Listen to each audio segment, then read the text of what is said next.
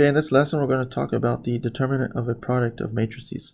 Okay, so the theorem states that if A and B are n by n matrices, in other words, if there's if you have if they're both square matrices, then the determinant of the product of A and B, okay, is equal to the determinant of A times the determinant of B.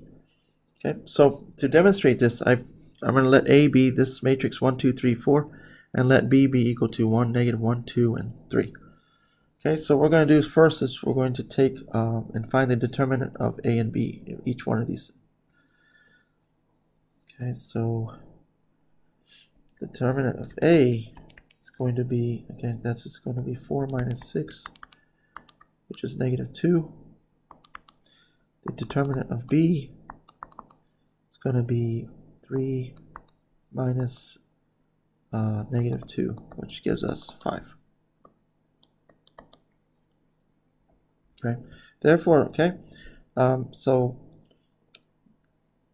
right, the determinant, determinant of A times the determinant B is going to be negative 10. So I'm just going to write that over here.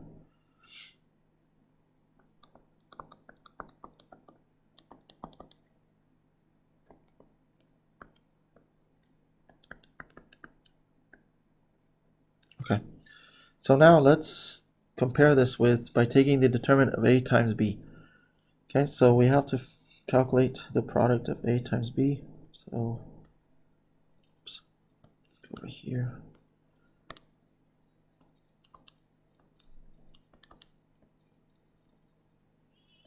So one, two, three, four, and one, negative one, two, and three. Okay, so multiplying, okay, so remember to multiply these matrices, okay? Uh, you take the first row dotted with the uh, first column. So I'm going to, okay, so we're going to get uh, 1, 1, 1 times 1 will be 1, and then plus, uh, 2 times 2, so it's going to give us 5.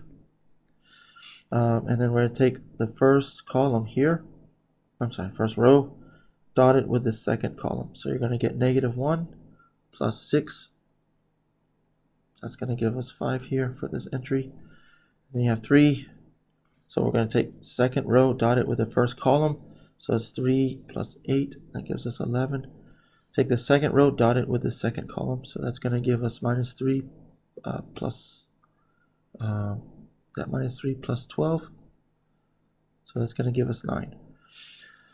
Okay, so that's so this is a times b. So now let's take the determinant of that. So determinant a times b is going to be 45, okay, minus 55.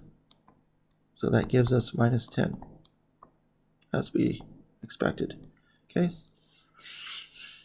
so okay, these two are equal as we uh, as the theorem states. Okay. All right. So something to be careful of here, okay? Um, this is this is only true if you're doing products, okay?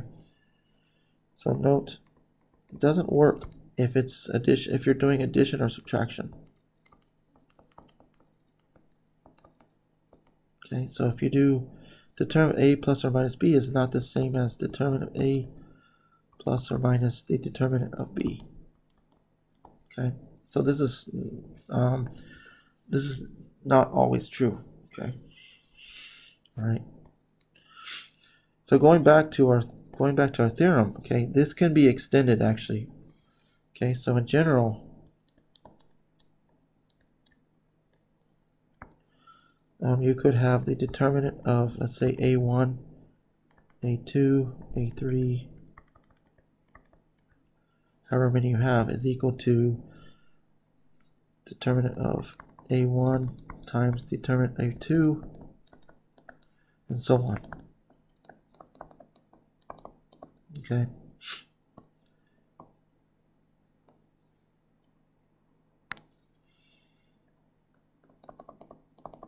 Okay, so you can extend this for more than two matrices, okay? Also, okay, um, if you have the determinant of, let's say, a to the power n, okay, so this is equal to determinant of a times determinant a dot dot dot times the determinant a. So this is, you have n of these, okay? Okay, because you have a to the n, that's a times a times a times a n times.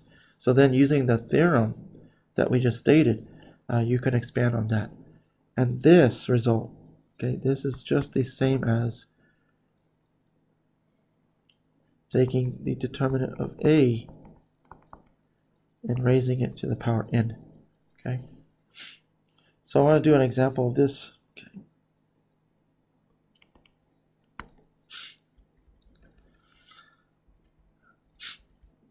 Um, let's see. So let b